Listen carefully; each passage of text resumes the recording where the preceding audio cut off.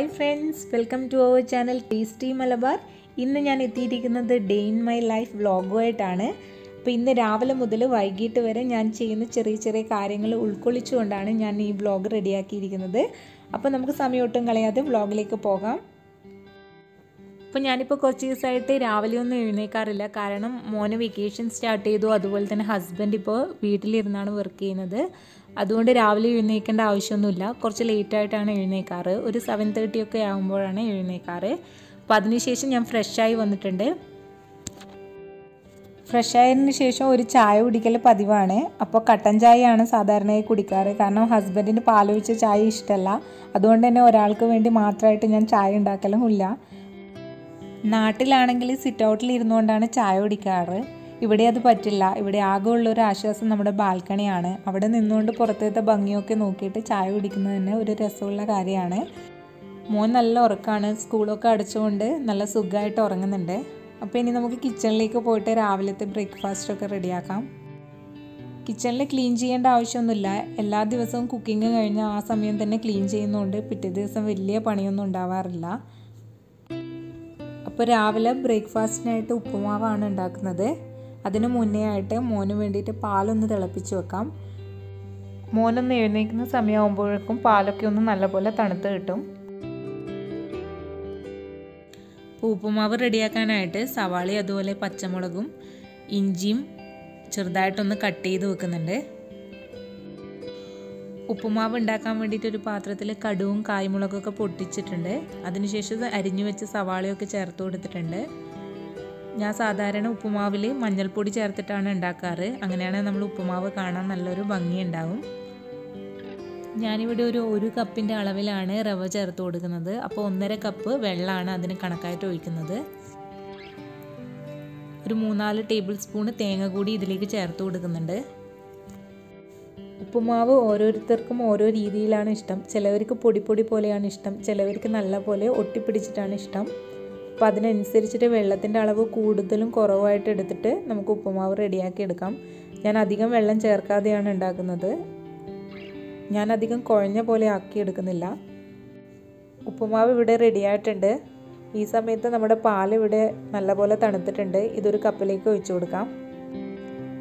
ഏട്ടനിപ്പോൾ റൂമിൽ നിന്നാണ് വർക്ക് ചെയ്യുന്നത്. ലോക്ക്ഡൗൺ സമയത്ത് കുറച്ചെങ്കിലും ഒന്ന് സന്തോഷമായി ഇരിക്കുന്നത് എനിക്ക് തോന്നുന്നു ഹൗസ് വൈഫുമാരാണ്. കാരണം എന്ന് വെച്ചാൽ അവരെ ഹസ്ബൻഡും അതുപോലെ തന്നെ കുട്ടികളൊക്കെ അവരുടെ കൂടെ തന്നെ ഉണ്ടാകും. പോയിട്ട് ജോലി ചെയ്യാൻ പറ്റാത്തതുകൊണ്ട്. അപ്പോൾ ഞാനും അങ്ങനെയാണ് ആദ്യം കരുതിയത്. പക്ഷേ ഇപ്പം ഓഫീസിലിരിക്കുന്നതിനേക്കാളും കൂടുതൽ ടൈം റൂമിലിരുന്ന് ലാപ്ടോപ്പിന് മുമ്പിലാണ്. അപ്പോൾ നമ്മളെ മോൻ ഇവിടെ നല്ല ഉറക്കാണ്. ഇനി നമുക്ക് അവനെ ഒന്ന് എഴുന്നേൽപ്പിക്കാം.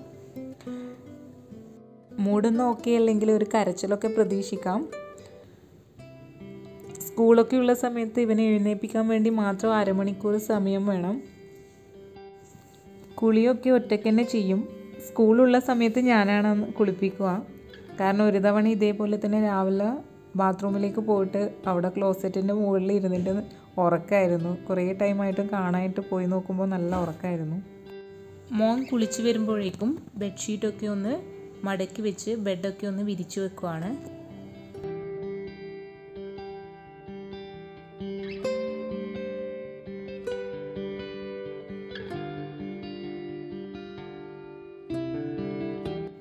സ്കൂളൊക്കെ അടച്ചിട്ടും പുറത്തൊന്നും പോയിട്ട് കളിക്കാറില്ല. ഇപ്പോൾ റൂമിന്റെ ഉള്ളിലിരുന്ന് മാത്രമാണ് കളി. ഇപ്പോൾ അവന്റെ ഫ്രണ്ട്സ് എന്ന് പറയുന്നത് കാർട്ടൂണും അതുപോലെ ഗെയിംസൊക്കെയാണ് രാവിലത്തെ ബ്രേക്ക്ഫാസ്റ്റൊക്കെ എല്ലാവരും കഴിച്ചു. ഇനി ഉച്ചക്കത്തെ ലഞ്ചിനുള്ള പ്രിപ്പറേഷൻസ് ആണ്.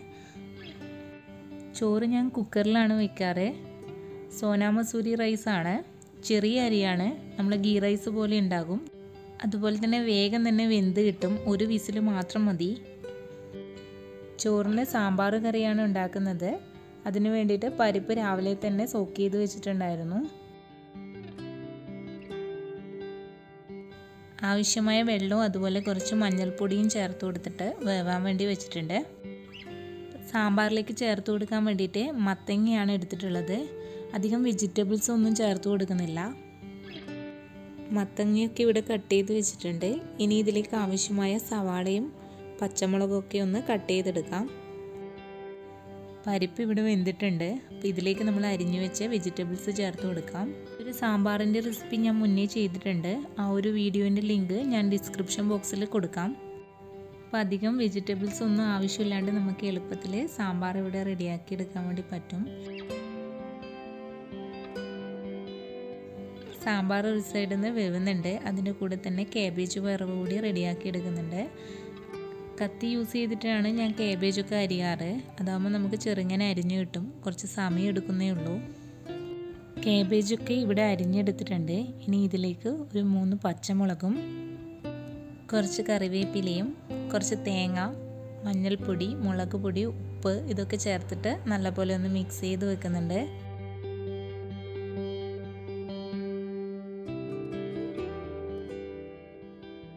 വറവ് ഉണ്ടാക്കാനായിട്ട് ഒരു പാത്രത്തിൽ കുറച്ച് ഓയിൽ ഒഴിച്ചിട്ടുണ്ട്. അതിലേക്ക് കടുവും കറിവേപ്പിലയും കായ്മുളകൊക്കെ ഇട്ടിട്ട് ഇട്ടിട്ടൊന്ന് പൊട്ടിച്ചു കൊടുക്കുന്നുണ്ട്.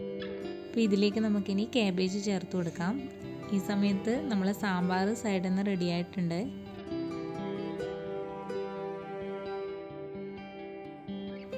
സാമ്പാറിൽ വറവ് കഴിക്കുന്ന സമയത്ത് അതിന്റെ കൂടെ തന്നെ സാമ്പാർ പൊടി കൂടി ചേർത്ത് കൊടുക്കുമ്പോൾ സാമ്പാറിൽ നല്ലൊരു ടേസ്റ്റും ഉണ്ടാവും മണവും ഉണ്ടാവും.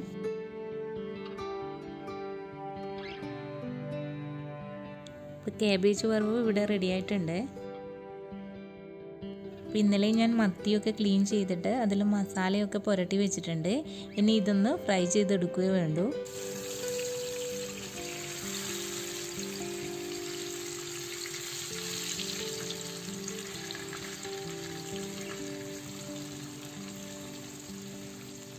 ഞാൻ മത്തി പൊരിക്കുന്ന സമയത്ത് അതിന്റെ മുകളിൽ റവ ചേർത്ത് കൊടുക്കാറുണ്ട്. അങ്ങനെയാണെങ്കിൽ മത്തിയുടെ ആ ഒരു മണം നല്ലപോലെ ഉണ്ടാവില്ല. നല്ല ഒരു ക്രിസ്പി ആയിട്ട് കിട്ടുകയും ചെയ്യും. കുക്കിംഗ് ഒക്കെ കഴിഞ്ഞു. ഇനി കുറച്ച് പാത്രങ്ങളൊക്കെ കഴുകാനുണ്ട്. അതൊക്കെ ഒന്ന് കഴുകിയെടുക്കുകയാണ് പാത്രമൊക്കെ കഴുകിയെടുത്തതിന് ശേഷം കിച്ചണിന്റെ ടേബിളും അതുപോലെ തന്നെ കിച്ചണൊക്കെ ഒന്ന് ക്ലീൻ ചെയ്യുകയാണ് സ്പ്രേ ചെയ്ത് കൊടുക്കുന്ന കിച്ചൺ ക്ലീനർ ഞാൻ വീട്ടിൽ നിന്ന് തന്നെ ഉണ്ടാക്കിയതാണ്. അത് കിച്ചൺ ക്ലീനിങ് ടിപ്സ് എന്ന് പറയുന്ന ഒരു വീഡിയോയിൽ ഞാൻ കാണിച്ചിട്ടുള്ളതാണ്. കിച്ചൺ ക്ലീനിങ് ഒക്കെ കഴിഞ്ഞു. അതുപോലെ തന്നെ ഉച്ചക്കേക്കുള്ള ഫുഡൊക്കെ ഇവിടെ റെഡി ആയിട്ടുണ്ട്. മോനെ ഇവിടെ ഗെയിം കളിച്ചുകൊണ്ടിരിക്കുകയാണ് ഇനി അവനെയും വിളിച്ചിട്ട് എല്ലാവരും കൂടി ഒരുമിച്ചിരുന്ന് ഫുഡ് കഴിക്കുകയാണ്.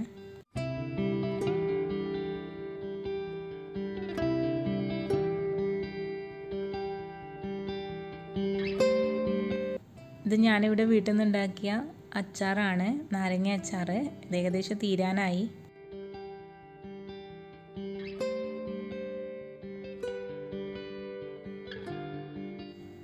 എല്ലാവരും ഫുഡൊക്കെ കഴിച്ചു. ഇപ്പോൾ ഫുഡ് കഴിഞ്ഞതിന് ശേഷം റൂമൊക്കെ ഒന്ന് ക്ലീൻ ചെയ്യുകയാണ്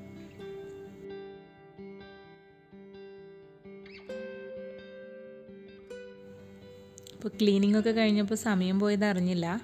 വൈകുന്നേരമായി അപ്പോൾ ചെടിക്കൊക്കെ ഒന്ന് വെള്ളം നനച്ചു കൊടുക്കുവാണ്.